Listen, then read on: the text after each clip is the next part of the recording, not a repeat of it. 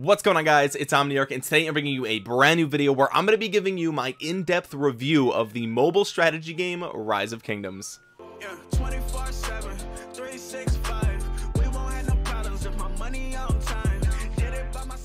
now I'm making this video for those of you who have seen the ads for rise of kingdoms. I know a lot of people that I know on the internet friends of mine say that hey Omniarch your videos and your Twitch channel have caused me to start to see more ads about the game rise of kingdoms. I know that the military war strategy genre is very saturated in the mobile department. There's tons of games that are follow a similar uh, type of structure but I do think that rise of kingdoms is very unique and and I wanted to make an in-depth review of it so that way you guys know if this game is something that is worth playing worth trying out and worth downloading. So this review is going to cover six different aspects of the game. It's broken up into six parts and each part is going to get a grade out of five and then there will be an overall score at the end of the video. The first category that we're going to be rating this uh, game on is single player content. So how much content can you do as a solo player? Next we're going to talk about multiplayer content content. So the amount of content available if you are willing to play in multiplayer uh, scenarios we're then going to talk about the enjoyability and replayability of this game. So how likely are you to come back every day and play the game and how much enjoyment are you going to have while playing it? Next we're going to talk about dev support. So the frequency that the devs are updating the game how often they're fixing bugs how often are they adding new content. Then we're going to talk about the performance. So how much lag is there? Is it crashing a lot um, how, what devices does it work well on things like that finally we're going to talk about the monetization strategy. I think this is a big one for mobile games. So we're going to talk about you know how um how aggressive is their monetization strategy? How much advantage do you have for as somebody who spends money versus a free to play player? Because of course this game is free to download. And before we jump in I obviously want to make a full disclaimer. Um, I've played this game for let's see 603 days. So that's consecutively. Um, but I am not a sponsored creator. As much as I would love to be. Um, I'm not a sponsored creator so I'm gonna be fully honest in this video it won't affect my bank account at all. I do think that that is worth mentioning though because clearly somebody who plays the game 600 days in a row is somebody who enjoys the game. So you are going to be hearing the perspective of somebody who likes the game. However not everything in this game is perfect and I do think there are ways uh, and areas that this game does need to improve despite how much I've played the game and how much I like the game. So with all of that out of the way let's talk about our first category which is single player content. So what exactly are you going to be doing in rise of kingdoms as a solo player? Well the primary thing that you're going to be doing for the early game and the mid game is going to be growing your account. That is the main type of objective that you have. So leveling up your city and all the different buildings inside of it researching new technology and getting more powerful troops things like that. That is mostly going to be a single player experience. There is some overlap with a lot of the different aspects of this game where um, if you're playing in an alliance which is the sort of multiplayer group function in this game um, things you know like I said they overlap. So sometimes if you're in alliances things will go faster for you. But in general the most of the early game is going to be uh, developing your account leveling things up unlocking new abilities unlocking getting more powerful um, things along those lines. Now there is also a campaign mode. It's called expedition. This is a pretty lengthy uh, campaign so it starts at level one right here and it puts you into scenarios where you are fighting just pve content. And so you have to build your armies in a way that is most optimal for defeating the uh, commanders and PvE armies that you're going to be fighting. So as you can see here there is uh, 80 separate levels plus a few offshoot missions that are more of rallying and attacking and defending cities rather than just open field fighting.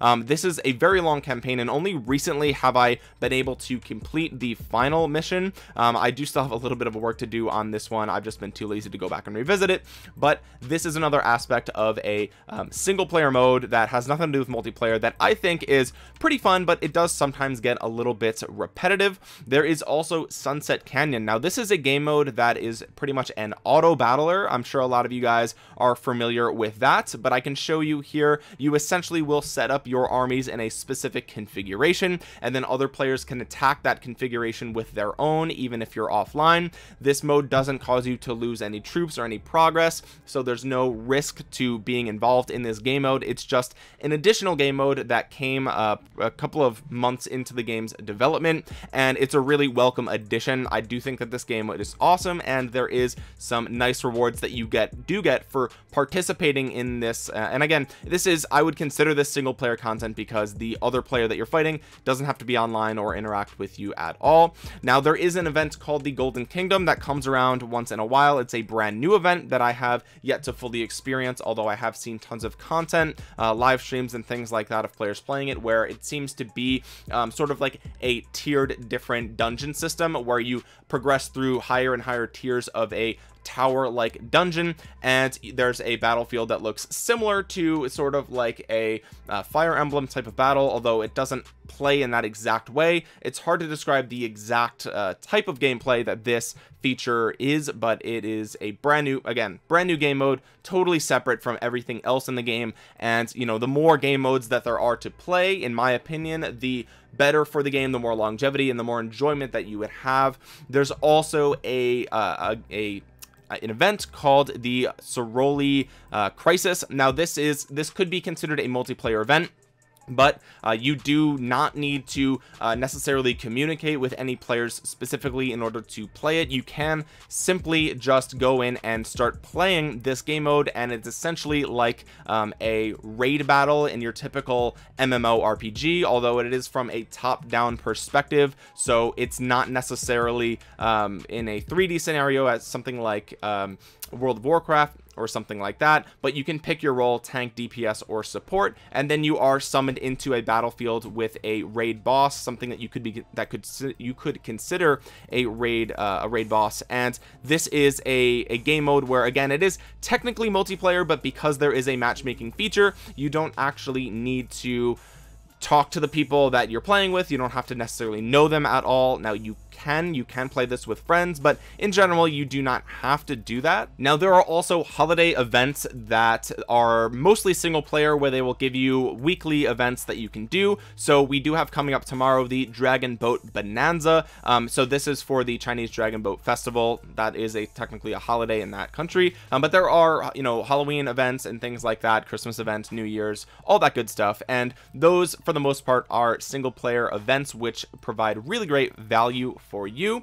There's also just straight up grinding right? You can kill the pve content out on the map. So there are barbarians. There's also collecting resources and things like that. And then finally there are weekly events that you can do. Um, some of them are multiplayer some of them are single player. So for example this germany event will give you some certain rewards for completing certain objectives. These are all mostly uh, single player as well. So for this category I am going to give Rise of Kingdoms a 4 out of 5 because as you can see there is actually a ton that you can do in this game as a solo player. Now the only caveat is that being a member of an alliance uh, does enhance a lot of these events that are things that you could do solo but you may want to do with people that you you know have some sort of synergy with such as the Ceroli event that I just described. Um, but in general there's a ton that you can do as a solo player without even needing to participate in the alliance or clan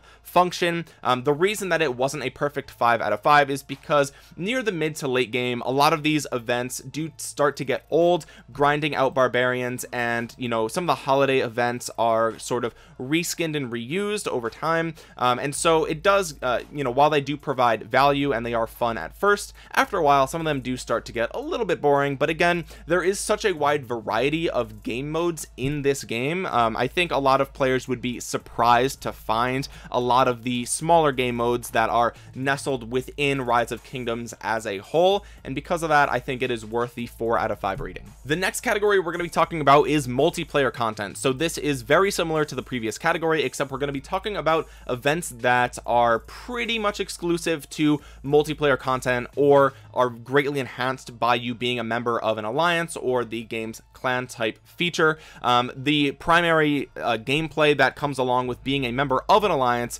is uh, the territory feature. So on your map there will be um, instances where your alliance will want to um, take over territory that may be owned by other players or you know just generally helping with flag flag building and diplomacy. Um, in early games there's typically civil wars. So you know some alliances versus other alliances. And these types of events are very very fun but also costly in terms of your progress. Sometimes you know you will have troops that die which sets you back in terms of power and things like that. Now there is also the organic um, player interaction. Now I can't tell you how many friends I've actually made on this game which is not something that I can say for other multiplayer games. When you think of something like a multiplayer game a lot of people think of like World of Warcraft or Call of Duty or League of Legends and a lot of those games while they are technically multiplayer um, they have a matchmaking system that just randomly puts you in a game with random players and usually you might only interact with them a little bit before the game is over and you move on to the next batch of randoms. And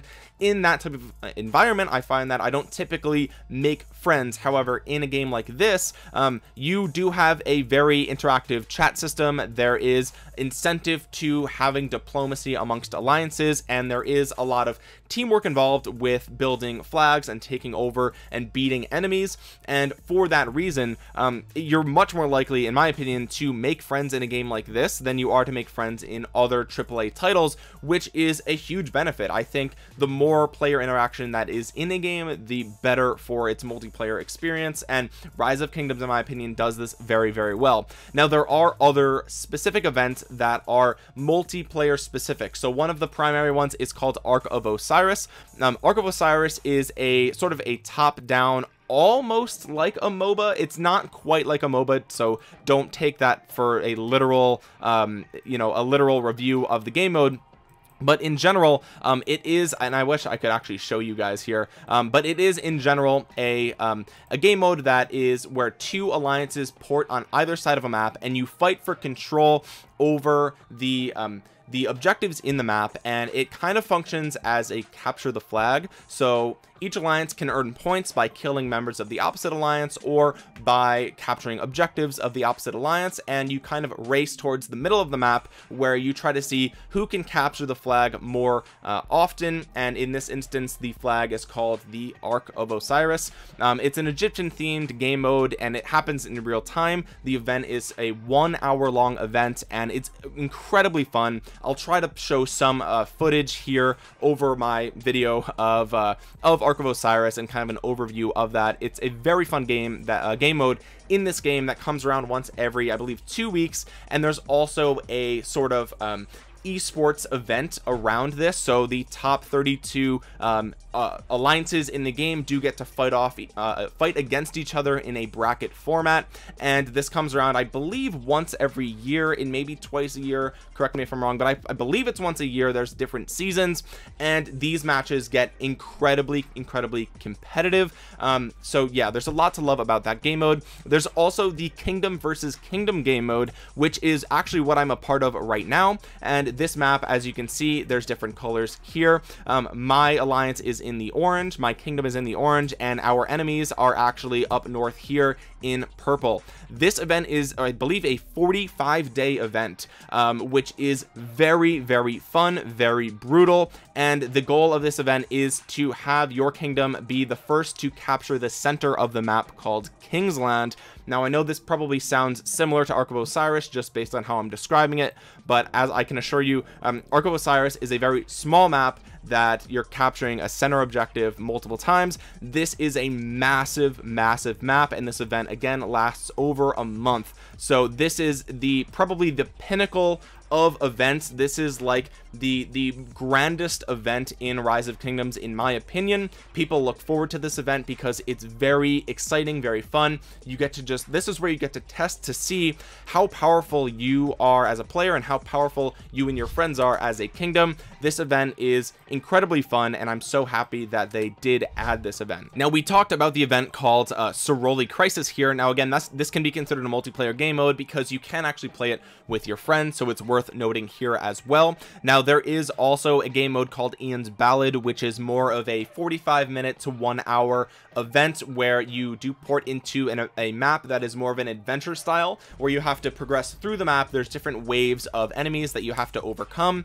And this is another multiplayer game mode that is relatively new provides you with decent uh, rewards and is very fun especially if you're able to jump into a, into a discord with some of your alliance members and kind of knock out that content. It is a lot of fun as well. Now there is some grinding that you can do as an alliance. Um, just like you can defeat barbarians as a solo player there are different things on the map called barbarian forts. Let me see if I can find one. Here's one right here defeating these forts is only possible when a member of an alliance so you will launch a rally against these objectives and then in order to defeat it your alliance members have to join your rally which is what you see happening here. We also see silent killer. It looks like he's uh someone's trying to attack his city. Um, but regardless uh, this is another piece of content that you can kind of grind out. Now there is also it's worth noting in the home kingdom um, things such as barbarian keeps and holds. These also are um, pieces of content on the map that you typically would do with your alliance. And when you do these things you do get uh, rewarded with really nice rewards as well. Um, again that's something that you usually do with other players. There's also an event called the Karuak ceremony. This uh, is a monthly event that comes around where you fight um, specific types of PvE content with uh, more and more power and they get very difficult and near the end typically you will have to attack them in rally fashion like I just showed you. Some of the holiday events in this game are also geared towards full alliance events rather than single player events. Um, there's other uh, game modes like the Silk Road where you and your alliance have to fight off incoming uh, intruders that are trying to capture this supplies that travel across the map. So as you can see just like in the single player aspect there is a ridiculous amount of content for multiplayer uh, play. And because of that I think that Rise of Kingdoms deserves a 4.75 out of 5 just again the amount of content in this game in the uh, from a multiplayer perspective is absolutely insane. Like there is so much to do. It's incredible. Now the reason that it wasn't a perfect five is because some of these events can get repetitive right? Like sometimes doing Silk Road um, the 10th time you've done it it gets a little bit repetitive. And also some events like kvk uh, you know one could argue that it's too time intensive. It requires too much time investment because some people do play kvk for 8 10 12 hours in a day. Um, it is you know it is that fun. So some people might think that this is too time intensive and because of that I do think that it doesn't deserve a perfect five but in reality the multiplayer events and interactions are where this game shines and if you do participate in an alliance I'm sure you will walk away with a couple of friends and you may even continue to talk to them outside of the game which is the case for me. All right with that out of the way let's talk about the enjoyability and replayability of rise of kingdoms. So as we just talked about there is a, a ton of content that you know you're likely to find some niche in this game that you thoroughly enjoy. Some players love kingdom versus kingdom. Some players love ark of osiris for the capture the flag type of gameplay. Other people like the auto battling feature of sunset canyon and lost canyon. Um, these auto battler uh, features are things that players do tend to love. And so since there's so much content in this game um, I'm sure there is a piece of content that you're going to like if what you like is military strategy real-time strategy games. Um, that I think is where this game shines as well. Um, also when you're heavily invested in the progress of your of your gameplay so when you really want to upgrade your city and you really want to improve your troops and things like that um, you do want to come back every single day to maximize the rewards. There are daily rewards that you can do and these rewards come in the form of premium currency and the possibility of summoning some of the strongest commanders in the game. As far as enjoyability I think that the graphical style of this game is really awesome. I think it's pretty unique. Uh, a lot of the other military uh, vertical style mobile games have a more realistic uh, art style to them whereas it looks like rise of kingdoms takes a more cartoony approach. You can even take a look at some of the 3d models of the commanders. They are fully animated and I think the graphics graphical style is just really really really really great. Um again the commanders are 3d renders and you know they are animated. They are a bit exaggerated in their proportions which again leads to a more cartoony animated style which i think looks amazing but also uh, ages really well. You know some of the other games in this genre that came out maybe a couple of years ago look like they you know should be on a playstation 2 um, and they just don't feel like they're modern even though they run on an iphone 11 pro max. So with that being said i think that the game really does look beautiful. It's colorful and very enjoyable. Um, the music in this game is very high quality. Um, the sound effects and the ambiance are incredible. The game ha has a day and night cycle so you'll see it cycle between daytime nighttime. Sometimes it's raining and the rain sound effects are amazing. If you zoom in on uh, different ponds and rivers in the game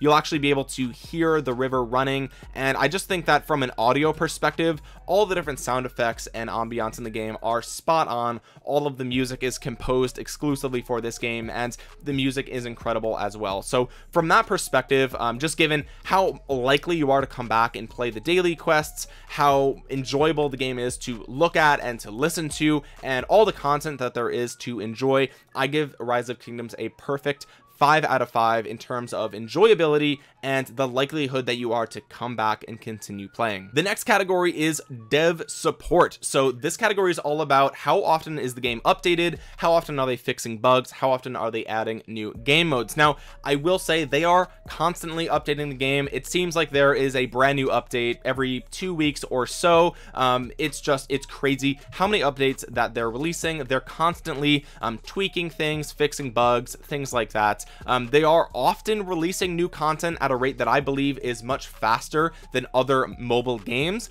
Um, I think that other mobile games you know maybe have a core gameplay that they tend not to stray from too much. But as we've already talked about in this video there are so many different types of game modes and so many different types of events. And it seems like every single year they're adding another major game mode to this game. And as it stands you know being embedded in a grander scheme of rise of kingdoms as a whole um, i do think that the level of commitment that the team has to including new game modes is uh, really it's fantastic honestly. It's really really good. Now I will say that there do seem to be uh, more bugs uh, than I'd like. Now that's not to say that this game is riddled with bugs. I think overall the game actually does um, run really well and there aren't that many bugs. Uh, but I think the fact that I do play this game so much and I do actually make content for this game uh, that I since I'm going through the game with a fine-tooth comb if you will uh, I do seem to stumble upon some bugs that I find are a little bit frustrating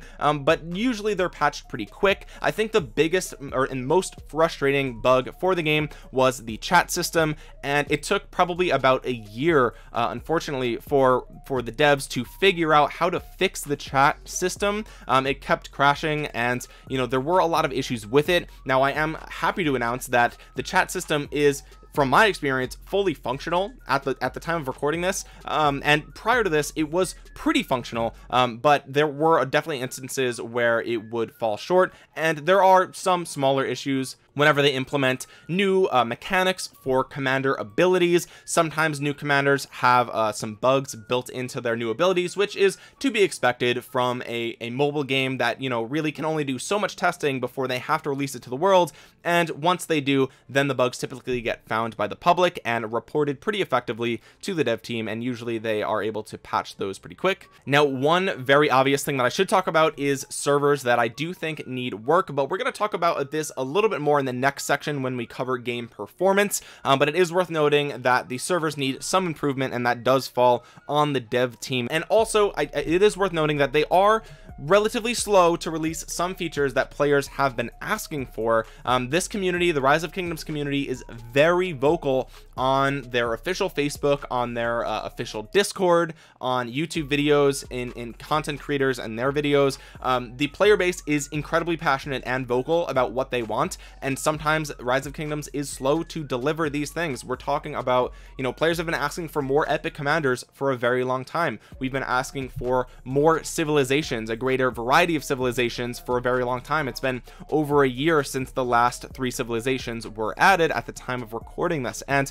you know we don't actually know. It's it sounds like they are working on adding more of these things but again we've been asking for it for a very long time and you know we did see one new epic commander come into the game um, but it wasn't somebody that was very exciting to a lot of us and the way that you obtain her isn't very straightforward and you know just little things like that where you know players are very vocal on what they want and Lilith is kind of slow to deliver um, but regardless of that just the sheer content uh, the sheer amount of content that is that is put out by the dev team the sheer number of updates that we do get from the dev team i think that this game deserves a 4.5 out of 5 now i know like I, it may have sounded like i was very pessimistic in that last part of this section but i do want to emphasize again there are updates every week or every other week and there are major game updates that include brand new game modes usually once every six to 12 months which again I, I personally think that that is much uh, much faster than other games of this uh, caliber. Um, it may even be sooner than that. It may even be uh, like every four months or something like that. We see a brand new game mode. We just saw the golden kingdom uh, but prior to that we saw ian's ballad very very uh, recently before that. So we are seeing tons of game modes very fast back to back. And i think that the content the stream of content is amazing. Um, there are just some areas where it falls short like them not adding some features that we do actually want. And it's also worth noting that some of the bugs are things that most players will never notice. They're very minor tweaks to small talents often corners of talent builds things like that. Um, so while it's something that I notice as a player I think realistically a lot of people wouldn't notice a lot of the tiny bugs that are in the game. Next we're going to talk about game performance. So this is going to be all about lag crashes the servers etc um, this game in from what I've seen runs very well on devices released within the last two years. So we're talking iPhone 10 and newer. We're talking about iPads that came out within the last year or two iPad pros. Um, this game runs very very well. I play the game on an iPhone 11 Pro and I usually have very few issues with the game on this device. There's a lot of debate on whether the game runs better on Android or iPhone. It seems from the people that I've talked to that iPhone has fewer crashes whereas Android has fewer bugs but that's just a very vague overview of what I've seen. Um, but in general if you have a newer phone or a newer tablet this game should run perfectly fine. Now that being said if you have a phone older than two years you may have it you may see some struggle right? It may struggle to play this game and I know that that doesn't seem right because the game again is very graphically cartoony and things like that but the battle formulas and the amount of stuff that can happen on the screen screen at any given time is very very uh, intensive. And because of that you know they have tried to um, implement some different settings here for um, graphic quality and different frame rates and things like that. Um, there are things that you can turn off like screen flicker and, and whatnot. Um, but in general you know these types of um, these settings I think they have some effect. Um, they also have a simplified graphics feature. So if the game detects that there's a ton of things going on in the screen at one given time it will simplify the graphics so that way the game in your device handles it better. But even still um, I think that older devices will struggle when playing this game. Um, even on a brand new iPhone 11 Pro during certain events this game will cause your phone to get hot right? It will be warm because your phone will be working very hard to process the amount of things that are happening on the screen at any given time during big fights big battles. Obviously right now there's nothing happening on my screen so this is very fine. This is normal. Um, the, the, my computer doesn't have to work very hard for this. But again there are large fights where you know you will see some lag and older phones will struggle. Now computer emulators in my opinion and from the opinion of my alliance members seem to be the best way to go. Um, I know a lot of other content creators prefer things like iPad pros and stuff like that. From what I've seen uh, computer emulators are a bit better. There are tons of Android emulators out on the market all of which are free. I personally use BlueStacks and I found tons of success with it especially in kvk um, I will have a link down in the description below where you can download rise of kingdoms for BlueStacks absolutely for free. So if you guys do play this game on your phone I would highly recommend trying it out on PC if you're struggling with uh, lag and you know simplified graphics and things like that. It's also worth noting that on my phone and from what I've heard from others the game tends to take up about two gigabytes of space. So that's not too bad um, considering the the amount of storage that most phones have these days but again if you're using an older phone with 32 gigs of storage you know two gigabytes may be a lot for you depending on how many pictures and videos you have on your device so that is worth noting as well. Now finally I want to talk about servers. Now this is something that a lot of people have complained about for a very long time and I don't want to sugarcoat this too much but but you know kvk servers need to be fixed. Um kvk is the kingdom versus kingdom event that we talked about before. That is what you see up in this corner this lost kingdom and that is the the current server that i am on the current map that i am on. Uh, this game mode and this event is very ambitious from lilith. It was a huge update for them. However we are past season four now and massive massive lag spikes still happen to this day during this event at key moments. So when passes open when significant things are happening so many players are playing at the exact same time that these servers cannot handle it. And unfortunately it does tend to make the game unplayable in certain aspects of this event where it matters most right? It matters most that the game play flawlessly. So unfortunately um, there is some server optimization that needs to happen. This is something that I'm sure Lilith is aware of. I don't know how hard they're working on fixing this. I would like to think that they are working hard to fix this but again the server lag has been something that we've experienced for over a year at this point it seems. Um, and even during your home kingdom there will be instances where you know you're doing guardians and that's a pve experience and you're doing the guardians and there's so many armies on the map you it's the game starts to lag. And the servers for me are definitely the biggest issue when it comes to game performance. Um, this should not be a surprise to lilith. I'm sure lilith knows about this. I don't know what's causing them to take so long to fix this problem whether you know I'm sure it's a highly complex problem. I don't know if they don't want to spend more money on the servers. Um, they certainly can afford it. That is absolutely not an excuse. They definitely can afford better servers than what, what they have now. It's just a matter of you know is that going to solve the problem or do they further need to optimize the coding of the game and the way that the game is displaying uh, different armies and the way that this, the game is calculating um, the damage formulas and things like that? Um, you know this is a problem that even World of Warcraft has as a what you would consider a triple A uh, MMORPG that's been around forever. Even World of Warcraft still has lag spikes lag issues server issues things like that. So this is not uncommon for MMO games like this with massive complicated damage formulas because the servers do have to run tons of numbers at the same time. However again even when you're playing on a brand new iPad or you're emulating it on a $2,000 PC, the lag can be unplayable at times and the servers do need to be optimized, fixed, whatever they have to do, it's something has to be done and it's taken a very long time for them to address this. Because of that, um, I am going to give this game a 3.5 out of 5. I think again there is there is areas where the game needs work. Um, however, if you have a phone in the last two years, you will have no issues with the game for I would say 90% of your playtime, right? A large portion of your gameplay will not be affected by lag or glitches, visual graphical bugs, things like that. So if your phone or tablet is pretty new, you shouldn't have too many issues. But again, the server issues are unavoidable and sometimes make the game unplayable. And for that, it gets a 3.5 out of 5. Now, the final category is the monetization strategy of Rise of Kingdoms. So this is how in your face they are with microtransactions, as well as how big of an, of of an advantage you get um, from spending money in the game. So the first thing that I will say is that um, I have paid money to play this game, of course, uh, but as somebody who is very, very aware of how this game works,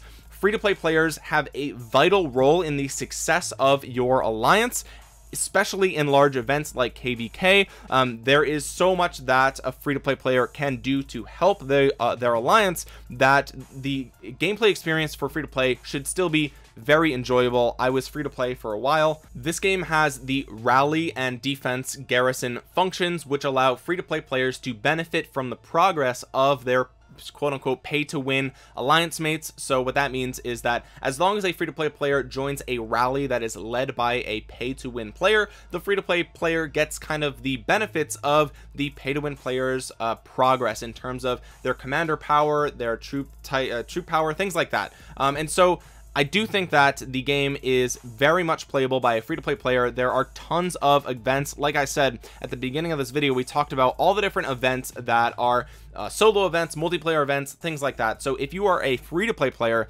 um, I would highly recommend that you join a, an active powerful alliance. And if you do that be very active in the game. And if you are I think you can progress relatively um, smoothly through the process of leveling up your city your buildings your research and technology things like that. I think again with the number of events there are tons of different ways that even free-to-play players can obtain the premium currency up in the top right corner. They're called gems. You can farm these gems the map whenever you want. You get them just by killing some barbarians as well. You can see that right here. So there are ways that free-to-play players can get thousands uh, very very easily you can get thousands of premium currency. Um, however there's still a decent advantage to spending money for this currency because you do get a lot of this currency for making certain purchases. So for example five dollars gives you 1000 gems. So killing a barbarian that drops 30 gems you would have to kill lots of barbarians in order to just compete with five dollars worth of purchases. With that being said I do think that there is something to be said about a game that caters to a small spender as well and this game does that very well. There are tons of different bundles and special events that don't cost a lot of money that will give you a nice advantage in the game and you can get away with not spending very much and still getting a lot of benefit out of that premium currency and some of the speed ups that you do get. Um, the game does release constant content like we talked about before and a lot of times with the holiday bundles and things like that there's always a new thing to purchase and a lot of these bundles are very enticing but they can get pretty expensive pretty quickly. The bundles do come in $5 $10 $20 $50 and $100 bundles. Um, I've never seen a bundle cost more than $100 although I do believe that there might be one or two that are very unique and specific to leveling up your city. Correct me if I'm wrong um, but for the most part 99% of the bundles are going to be $100 or less but again they do get pretty expensive pretty fast. Now there is also a battle pass feature. This feature was added in to the trading post. It's called lucerne scrolls. Currently we're on we're on uh, season four or volume four of the lucerne scrolls. This has 80 different levels and it lasts a total of eight weeks um, from start to finish. Each week you get new challenges to complete. Now it's worth noting that there is a free to play portion of this battle pass um, and so you will be able to get lots of rewards just as a free to play player. However these rewards do not compare to the the rewards that you do get from uh, spending in the battle pass. The battle pass comes in five dollar and twenty dollar increments. The twenty dollar bundle for the battle pass will give you bonus levels just like any other battle pass from any other uh, game that you've seen with a battle pass feature. In my opinion I don't think that the value is very high for the battle pass. I think that that's an area where the game does need some work. I think that it feels to me that they've added a battle pass out of obligation because lots of other games are doing that. Um, it is nice that free-to-play players get more things for free which is great. Again I'm not complaining about that. However I do think if you're spending $20 for a battle pass I think that the rewards that they're giving you don't necessarily equate to that uh, value unfortunately. So I'm not a huge fan of the battle pass in this game um, but it is a feature that again it does slightly benefit free to play as well. So it is welcome. I just wish that they would add a little bit more for what you're spending. Now there are two commanders that are completely locked behind a paywall. One of them is Minamoto. Um, this is a commander that is pretty heavily advertised when you first download the game. Um, this commander is pretty expensive to get completely perfect. Um, and he is again exclusive to spending. So you cannot get him as a free-to-play. The other uh, example of this is a commander called Hannibal Barca. This is another commander commander that you can only get by spending money. Now this does sound pretty bad but um, just realize that there are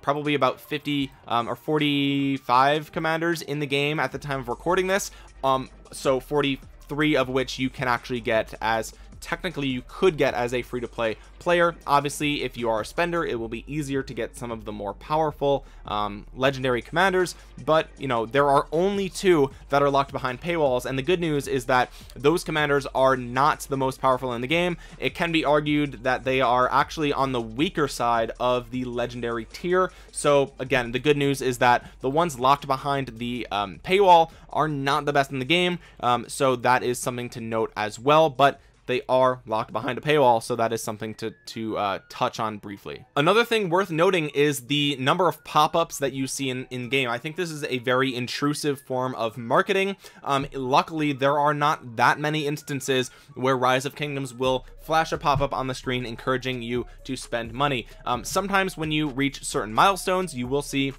a timed bundle show up on your screen. A lot of times these bundles are very valuable in terms of what you get for how much you spend however in general um, there are very few times that you will get those types of pop-ups compared to other games in this genre or even other mobile games in general. Um, I cannot tell you the number of mobile war strategy games that I've played where as soon as you download the game they show you the daily bundle or they show you the latest holiday thing front and center. You should buy it. You should spend money on it. And luckily rise of kingdoms does not do that at the time of recording this. They could always change that of course. There are other games that have 45 different flashing jumping um, uh, icons on the screen. As you can see here besides the menu we do only have two icons up here um, one of which is the shop. And this is the shop here. Um, it's not super animated or super flashy. There's just you know things that you can buy if you want. Some of them are timed. Some of them you know a couple day timer. Some of them are uh, a few hour timer. So that is worth noting. This is also a 39 this is part of the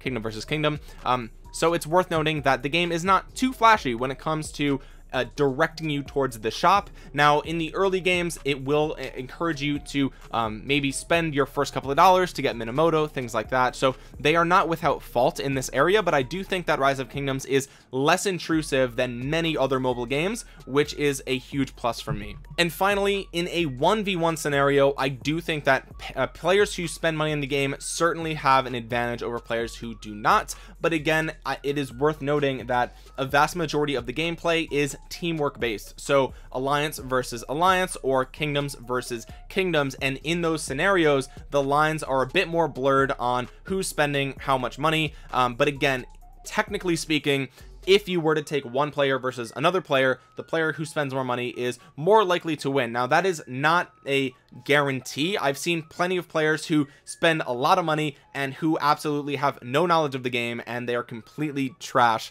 uh, which is hilarious to see. But um, in general you will you will definitely have um, a an advantage over the the free-to-play player. But again a I, I would say 90% of the way that you should be playing this game is with your alliance and with your kingdom. And if you're playing in that fashion um, you will benefit from your alliance members who have spent more money than you. And because of that um, I think that again there's still tons of room for free to play free to play make a great uh, contribution to the game. And that's good news because a vast majority of players are free to play. All that I've said for this category lands rise of kingdoms at a 3.5 out of 5 again there are lots of bundles that come very frequently. They're very enticing but they are pretty expensive. They get expensive very very quickly. There are instances where the game does encourage you to spend money. However I don't think there are as many as other mobile games. And because of that I'm giving rise of kingdoms a 3.5 out of 5 for their monetization strategy. Um, it's good but I think it could be better. So the way that I calculate the overall score for rise of kingdoms is I'm adding up all of the points from each individual category and then dividing it by six because there were six categories.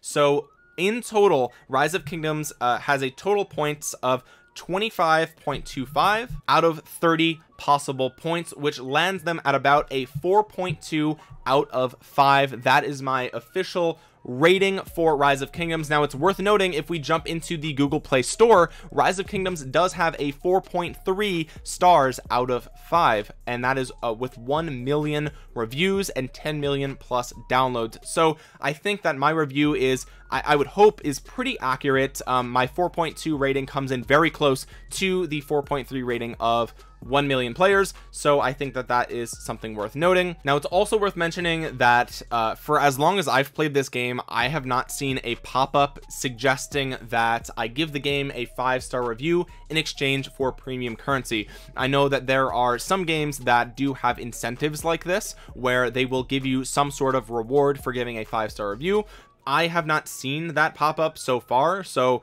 as far as I know those five the 4.3 stars out of five on the Google Play Store is probably pretty accurate. Now I know that, that, I'm sure there are ways to influence that artificially but again there's no in-game way that I know of where you would get rewarded for giving the game a five stars which should uh, add to the credibility of that 4.3 out of 5 now I know this is a long video so if you made it all the way to the end I really do appreciate it and I would love if you could just drop a thumbs up and comment down below any questions that you have about Rise of Kingdoms. Now as I mentioned before there is a link down below to download Rise of Kingdoms for your computer and like I said to me that is the best way to play if you have an older phone or if there's very major events happening I think that usually computers are better at handling the game than some uh, than some phones might be and so click that link below to download the game totally for free. It's on BlueStacks and it's an easy way for you to help my channel without it costing you anything. Now it's also worth noting that I have a ton of guides for rise of kingdoms on my channel. So if you are about to jump in as a brand new player